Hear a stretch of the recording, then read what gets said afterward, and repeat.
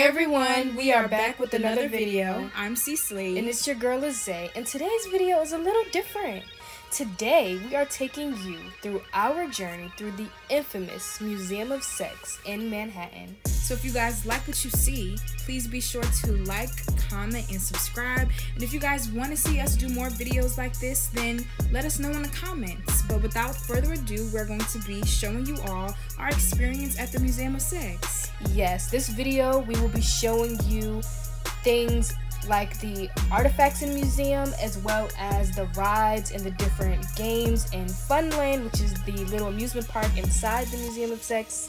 And let me tell you all, this was such an amazing experience. Mm-hmm. Right out the gate, I'm going to tell you it was definitely a 10 out of 10. And if you have the opportunity, you should definitely go. So we're going to be trying our best to show you guys this experience from top to bottom. So right now we're showing you all the train ride because you know the views on the train sometimes they be really lit. And then look at the pictures that we took on the train. Give it a second. Bam. Bam. Look at the glow. Everything popping. Lashes popping, brows popping, skin, hair. We were slaying throughout our whole trip. So now we're getting into the artifacts. And let me tell you, nothing in this museum was conventional, and I think that's definitely what I loved. Mm-hmm. These things are not really, or these uh, artifacts were not really something that people are generally talking about when it comes to sex. And I think that that's what I love the most about the museum. Like, it really encapsulated everything that sex could involve yes. in different kinks to different toys to, to the history to different sexualities. It was just so informational. And don't hesitate to pause and give some of these descriptions a gander. And yes, now we are showing you guys Becky with the good hair. Okay? when I first saw this doll, I was like, hold up. Wait a minute. Let me read this. When did they make this? So just make sure that you guys are taking time to pause and read the descriptions. And a lot of the artifacts that we saw were really, really, really cool. Like just giving you guys a second to go ahead and read that. Those were so cute. Not not the costumes and the accessories. And that's another thing that I really liked about the museum. We got a chance to see the history of sex and how it evolved and all of that good stuff. So I thought that that was a really cool thing for us to see. Yes, so like I said, do not hesitate to go if you can. And also too, I would love to see what you think some of these artifacts are. Like what because, is this? Yes, give us give give give it your best shot because for me, I was looking at some of these artifacts and having no idea what they were until I read the description. I'm like, what? Um. How? Why? You know even though we're not going to yuck anybody's yum because that's not what the museum is for. It's just you know i was some some of these artifacts made me think about lost. how far the body can be pushed. Yeah. You know? Oh my god look at this figurine. She was so cute. Like i'm like this would definitely be something i will have up in my room but in another lifetime not this one. But she's cool for you know if somebody wanted to have that. And now we're about to show you guys look at Azé look at how cute Azé is. First of all, look at the hair. Do y'all y'all can't even conceptualize the, the thickness and the just amazingness of Azé's hair. And she gave y'all the blueprint. A tutorial for how we grew our hair is already up on my channel. So please be sure to go ahead and give that a look because as you can see, our natural hair, our 4C, our real 4C natural hair is thriving. Okay? Thriving. So make sure you guys go ahead and check that video Yes, and this is just one of the games in Funland. Um, and now we're going back to some of the exhibits. Y'all should know what that is. You know, it's a plug. like, you know.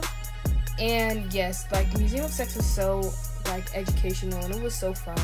Like I, we weren't there like oh my gosh, you know. I'm so bored or yeah, oh my goodness. There was never a dull moment because there were so many things that you could learn from and look at. Like I really love this museum, and I this is this is why I love museums in general because you learn so much. And also look at this headgear. This like, was really fierce. Cool. I'm like whoever's putting that on, kudos to them because look at that. You can't see nothing. Where are the eyes? They said, "Look, I want a fully immersive experience," and that's. I'm like, hey. It was a little feather on top for me. Ooh. It was really cute. Period. Not the plume. Yeah. So it was just really like I really can't explain it. Like you just have to go, like if you can, and if you can't, like I'm telling you, there were multiple floors of art of artifacts, and there were multiple floors of exhibits. Like there was even one. Um, it's coming up later, but there was even one exhibit by this well, by this um, like radical queer feminist woman who were who was like one of the first people to kind of popularized like female masturbation and just lesbian sex in general and it was really really really interesting and there was a whole like documentary playing in the museum of her speaking and just talking about her life and why she started and how many women's lives she changed by her work. by her work and it was just really empowering it was really really cool. And i think that that was another one of my favorite exhibits. And there's so many floors to explore. And also too i think that the exhibits and stuff change um at different times of the year.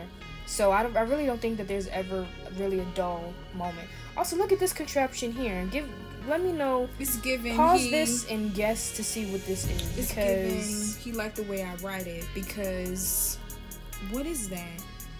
I'm telling you i did not know until i read it so, yes, go back a few seconds and pause and give it a gander before you look at what the little description says because it was so much fun. Yeah, there were so many treats and there were so many little Easter eggs at this museum, and it was just a breath of fresh air. Like it didn't feel this was not a like a boring museum. Like OMG, when can I get out of here? Like this museum made me made me say, like I, I, want more. Like what else can i explore? What else is there and be sure to pause it right here so you guys can see and read more about the person who made one of our favorite exhibits in this museum. Um, and this was one of our favorite art pieces. And just look at the detail. I thought that it was so so pretty. And i love color. Y'all know orange and pink and all of those things. I love color. And um, her exhibit was filled with color. It was filled with so much fruitful information. It was filled with a very, very great um, documentary movie that you could sit down and watch in the middle of the exhibit. Like everything about this part of the museum was really, really, really cool. We couldn't put everything that we saw in the museum in this video. That's why we're saying, please, if you have the chance, go ahead and check the museum out because we had so much fun. And this was Azé's, one of Azé's favorite um, series of art pieces from this specific exhibit.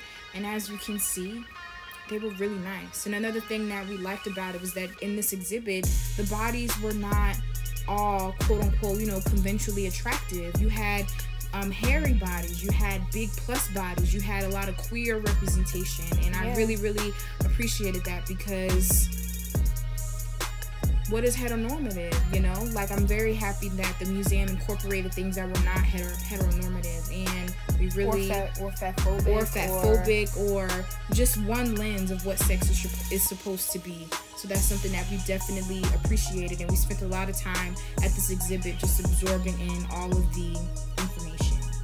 Yes and now we're getting into this really beautiful tunnel which came after another kind of movie like sequence mm-hmm. that was more like cartoonish and animated. Like it was kind of giving us a history of just different like views of sex throughout the centuries. And after that like the doors open up behind you and there's this tunnel filled with color and different patterns. And soon you will be you will see how Sierra and I used this to our advantage and how much fun we had.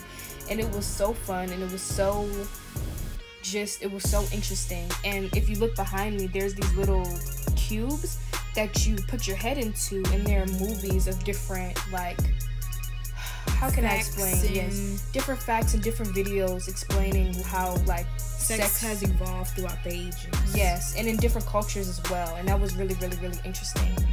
Um, and yes, we were all COVID safe. You really couldn't, you could not get in without a mask. Um, so definitely have that in mind. But yes, now, now here's the show. To, we're about to slay. Here's okay? our own exhibit. Yes, watch this. Give it a sec. And bam. We had so much fun. I felt like this was our runway. We were like, who's stopping us? Who's topping us? We are here. And everything about this this tunnel was just so beautiful. Like, look at the lights. Also, we put a disclaimer in the description. If you have light sensitivity, then we're gonna definitely note the times that this part comes up. But yeah, we were just slaying throughout our whole trip to the museum. And now Azé is killing it. She's about to give pose after pose after pose. Okay, okay, okay. And I really feel like the lights changed when we struck our poses. It was just, look at the timing. Look at the synchronicity. Like, it's giving. It was giving everything it was supposed to give, you know? And now she is strutting back. And I had to do it one more time for the one time. Yeah, we spent a lot of time just in this tunnel alone. And what happened? What happened while we were in the tunnel? Yes, so literally we could have spent all day here, but literally one of the directors of this part of the museum was like, "Yeah, y'all, um, this stops like every five minutes, so you have like 30 more seconds to get whatever y'all are doing out here. But the lights are definitely about to shut off, and I suggest that you move on to the next part of the museum." We were like, "Dang." So good thing we got our flicks when we did. We had to move to the next part of the museum, and this is literally right after the tunnel. And um, now um, it's like in, a little hallway, and now we're going into Funland. Yes, and we did not capture all of the cool arcade games and stuff like that because we wanted to have fun, and some of the stuff you really have to like play with both hands. And first of all, let's get into it. Azé killed this bull ride. Like she absolutely did not fall at all, and I'm like that could not have been me because it was really hard. It was literally trying to throw me off. Like do not let this video fool you. I was like, look, my leg, my leg uh, muscles really had Strong. to come in, come in, come into play because I'm like, first of all, I'm not falling. I'm in a dress. I'm in a museum. I don't know who has who has stepped over this carpet. I'm not playing with y'all. I'm not falling, and I did not fall.